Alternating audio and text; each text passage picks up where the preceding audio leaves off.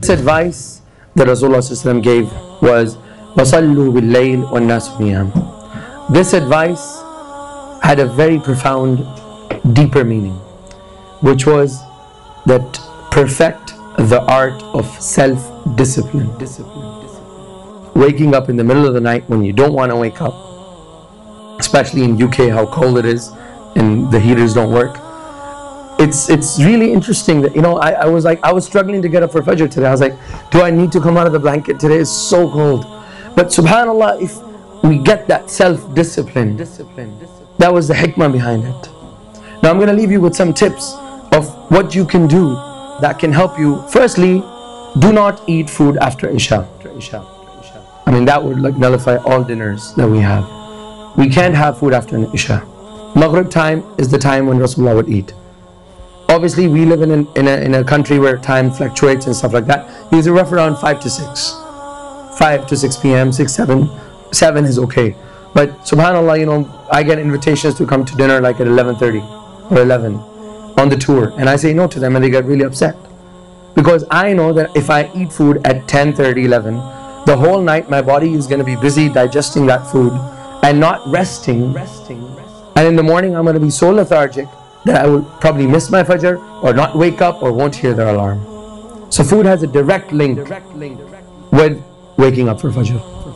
Another thing which is a lost sunnah, which is sleeping right after the dhuhr or before the dhuhr. So 15, 20 minutes, even if you're in the car, leave your car parked and just close your eyes.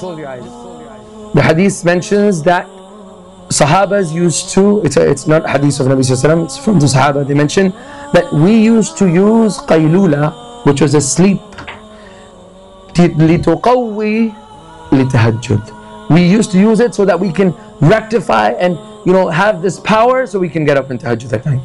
Scientifically what happens is when you do this, you kind of you know break the pattern of your brain. So your brain gets a chance to rest, to rest, for 15-20 minutes. They even call it REM rapid eye movement. If you look up in Google REM, you'll find a whole research on it. REM. Bottom line, we need to sleep in Zuhr if you want to get wake up for Fajr. Or even Salatul Fajr. And then inshallah we can talk about Tahajjud also.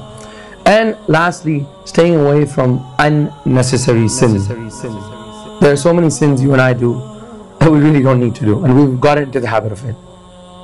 Such as we saw something about another brother, quickly take our WhatsApp. You don't know what happened, brother and you send him that text. That's ghiba. That's ghiba. That's ghiba. It's ghiba, but it's so easy to do it now. To do it now. Twitter, hashtags, Facebooks, you put mentions, you have no idea the following person, you know, slipped from the masjid, haha, it was a very nice moment.